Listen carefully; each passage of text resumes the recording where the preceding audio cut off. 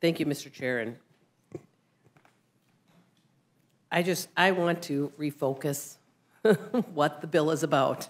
Um, Chairwoman Foxx was kind enough to read us the entire bill, and, and um, maybe Chairwoman, you could explain um, how the Biden administration's interpretation of Title IX runs contrary to the original intent of the law. And so we focus back on the law and what we're talking about.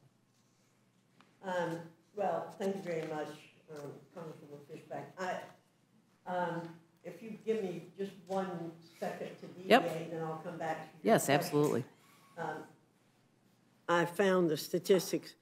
Um, Title IX, since its enactment, female participation in sports has increased 1,057% at the high school level and 614% at the post-secondary level.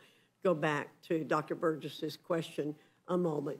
Uh, But to come back to your question, you know, it's very interesting to me that the biggest proponents of Title IX when Title IX was put into place, and since it was put into place until very recently, were Democrats. Uh, Republicans supported it, I believe, but it was really, really pushed by Democrats. And yet here we are with a Democrat administration and Democrats in this body who are saying that it's not okay for women to be treated as equals. And so, what the Biden administration has said is that no state can have a similar law. They are saying that states cannot do this. Um, they are saying that the secretary might be able to make some exceptions to some rules and regulations that states want to put into place. I can't cite chapter and verse of the rule, but I'm summarizing it. But basically, it says a state can't do what it is we are we have written into this bill, which is to define biological males and define biological females, and or say biological males cannot compete against biological females. So the rule that they have proposed, which has not yet gone into effect, would negate any kind of legislation like this at the state level. Well, And yet, many states have already passed legislation like that.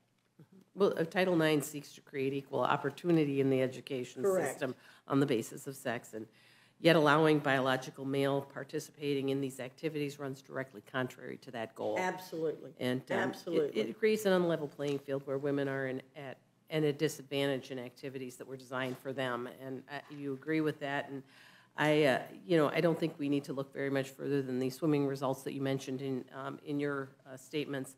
But it is, it is sad to hear about the women who are being forced into uncomfortable positions, situations in the locker rooms, and um, and having their work, their hard work, and their lifelong work and goals, you know, mean nothing. Um, and um, yes, this is important. This is important to those people being affected, um, those women being affected by um, by the policies that are now taking over. And, and I, I do think we should show compassion to the females that are being hurt by this uh, by this. Absolutely. The, our whole idea here in Congress is to prevent discrimination. And that's what Title IX was all about, because women and girls were being discriminated against. And that's what we're trying to see enforced, is, is fairness for women and girls, and to prevent discrimination. And, and Madam Chair, I absolutely want to see that, uh, see that fairness and that restored to these individuals. You know, my heart goes out to the uh, young lady, the swimmer, who, um, who was not only lost the title, but in addition to that, was attacked um, at one of her speaking engagements.